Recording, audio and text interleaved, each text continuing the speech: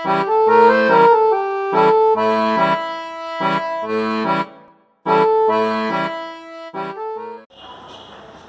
दोस्तों I am Yusuf you are watching animal lover Y K आप सबका बहुत बहुत स्वागत है हमारे चैनल पे। जैसे कि आपने हमारे सारे, अगर आप हमारे चैनल पे नए हो तो सबसे पहले सब्सक्राइब बटन पे क्लिक करें और फिर उसके बाद आपको हमारी सारी वीडियोस जो है, उसकी नोटिफिकेशन यानी कि सूचना जो होगी वो आपको सबसे पहले दिखाई देगी। तो आज हम इस वीडियो में बात करने वाले हैं, हमारे सब्सक्राइबर के द्वारा पूछे गए कुछ सवालों के जवाब। तो जैसे उनका नाम है प्रवीण कुमार, मोहम्मद रियाज और रिजवान सर, इन सब इन सब के मुझे व्हाट्सएप आए थे और कुछ लोगों के कॉल भी आए थे।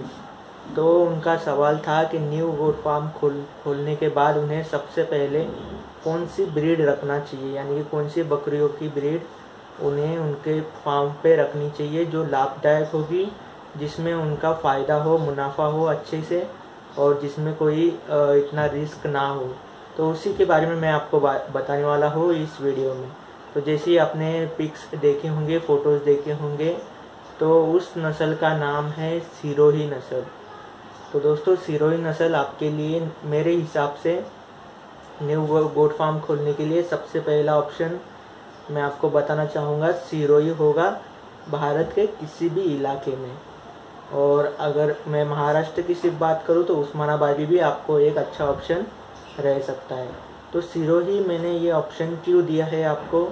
तो जितने भी मैंने गोट फार्म जितना सर्च किया है और कितने विज़िट किए हैं, उसके हिसाब से मेरे को सिरोही जो नस्ल है, ये इसमें कम रिस्क लगता है। इसमें अगर आपको नुकसान भी हो तो इतना कुछ आपका नुकसान नहीं हो सकता और इसमें मुनाफा तो है ही।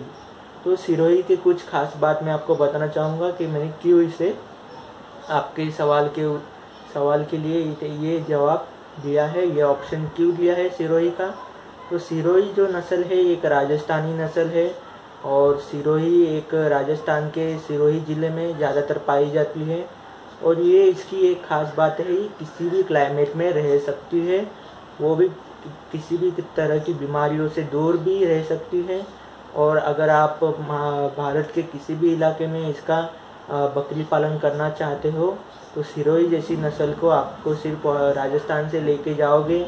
और अपने क्लाइमेट में सेट करने के लिए बहुत ही आसानी हो जाती है। इसके लिए सिर्फ़ आपको टाइम पे वैक्सीनेशन करना होगा और डिवॉर्मिंग आपको ज़रूर करना पड़ेगा। तो ये एक खासियत है सिरोही नस्ल की। ऊपर से सिरोही के कीमत। सिरोही जो नस्ल है ये अन्य नस्ल की तुलना में इनकी प्राइस जो है वो रिजनेबल होती है, यानी कि अन्य कोटा, सोजत जैसे नस्लों से इनकी कीमत जो है वो कम होती है।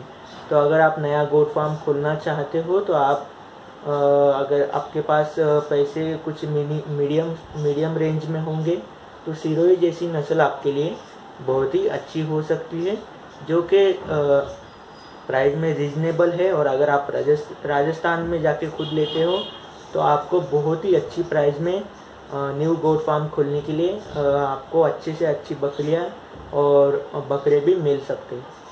सिरोही नस्ल की तीसरी एक बात मैं बताना चाहूँगा कि ये आपके लिए अगर आप गोट फार्म पे रखते हो तो ये आपके दो मकसद के लिए कामों में आ सकती है।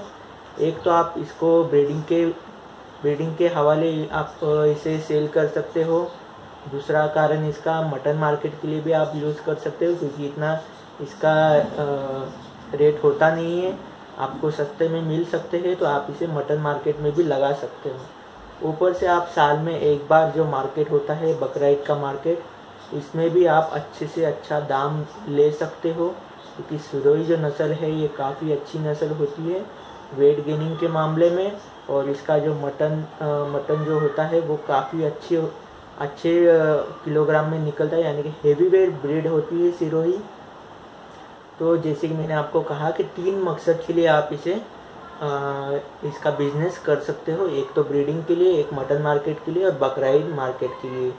तो दोस्तों किसी भी तरह से आप देखते हो तो सिरोही एक अच्छा ऑप्शन है आपके लिए अगर आप न्यू गोड फार्म खोलना चाहते हो। और अगर इसके इस, इस बकरियों का पालन आप किसी भी इलाके में जाए चाहे वहाँ पे गर्मी हो या बारिश हो या फिर कितनी भी ठंडी हो इनमें जो है रोग प्रतिकार क्षमता बहुत ही अच्छी मानी जाती है। जैसे कि मैंने सर्च किया है और गोड फार्म पे विज़िट करके भी मैंने देखा है इसके रिज़ल्ट काफ़ी अच्छे हैं। इसमें खाली एक ही खाली गलत मतलब गलत बात बुरी बात इतनी है कि इसमें दूध देने की क्षमता थोड़ी कम होती है। बाकी बाकी सब कारणों में ये बहुत ही अच्छी नस्ल मानी जाती है। तो दोस्तों, अगर कोई नया गोट फार्म खोलना चाहता है तो वो सिरोही गोट गोट्स के बारे में ज़रूर सोचें। और अगर आप सिरोही में ही अच्छा गोट फार्म खोलना चाहते हो तो आप राजस्थान जाके अच्छी से अच्छी नस्ल के बकरे और बकरियाँ जो है वो आप अच्छे से रेट में, वो भी कम से कम रेट में आप ले सकते हो और अगर आप क्वांटिटी में ज़्यादा लेते हो तो आपको और भी सस्ता मिल सकता है। तो ये थी मेरा ऑप्शन आपके लिए। नया गोट फार्म अगर खोलना चाहते हो तो आप सिरोही नस्ल को ज़रूर सोचें। तो मिलते हैं हम अगले वीडियो में और गोट फार्म प्रमोशन के लिए आप हमारे नंबर पर भी कांटेक्ट कर सकते हो। जो कि मेरा नंबर है double seven one five nine one zero two double seven. तो दुआ में याद रखें और लाइक, शेयर सब्सक्राइब ज़रूर करें।